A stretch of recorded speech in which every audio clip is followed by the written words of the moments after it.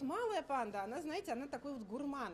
Она будет выбирать молоденькие веточки, молоденькие почечки, молоденькие листочки.